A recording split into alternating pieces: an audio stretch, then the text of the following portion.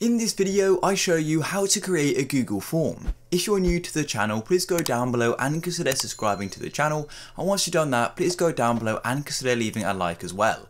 And please do watch this video right until the end so the full steps. Any further ado, let's go and jump into this. I'm now on my desktop and let's go and jump straight into this guide. So the first thing you want to do is jump into a web browser and come to a search engine just like I am. It doesn't have to be Google, but it can be a bit easier then once you're here, all you want to do is simply go and search for Google Forms, just like so. Now do keep watching, I'm showing you how to create one and how to go and view the responses and send it to your potential respondents. Once you search Google Forms, then all you want to do is make sure you see this one here, which is the Google address, and make sure it says free online form creator, and go and click here then all you want to do is go and click on go to forms and it's going to start loading you to the form dashboard. And here we are in the form dashboard. So as you can see, it's going to go and show you any of your recent forms. Here's one I made a few months back. But at the top, you can either go and start a blank form, or you can go and check out the existing template gallery. There's quite a few as you can see, but for this guide, I'm just gonna go and start a blank one. So I'm gonna go and click on this plus. Then it's gonna take a minute or two to load, and here we go onto a brand new form. First thing I recommend doing is coming to the top right and clicking on where it says untitled form and just go and naming whatever you'd like. So I'm just going to go and name this example just like so.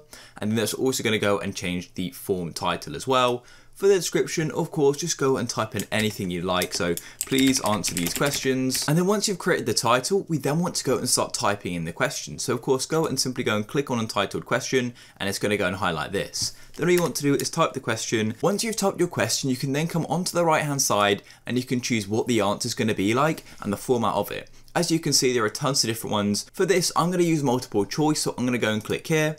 And then for the first option, you can just type yes, for example. Then you can go and click on add another option and type no. And you can also go and choose if you'd like it to be a required question as well. But now I want to go and start another question. So then come on, click on this little sidebar and click on the plus and it's going to go and create a new question. For this one, I'm going to set it as a short answer so people can type whatever they're liking.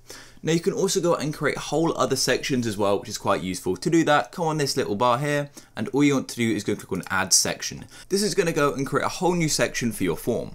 So you can go and title this and then once you've done that you click on this plus again and it's going to go and allow you to create a new question. And you can also go and customize the whole look of your form. To do that, come and click in here and you can go and customize the theme. You can also go and click on this eye and you can go and preview what your form looks like, which is really cool.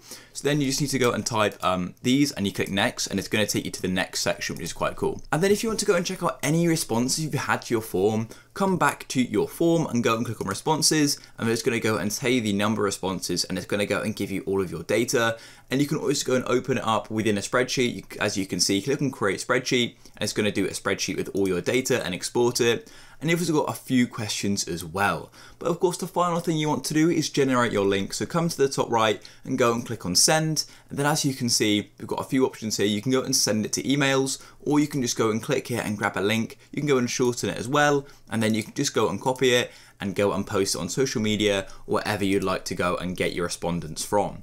If you found this video useful, please go down below and consider subscribing. I'll catch you in the next one. Peace.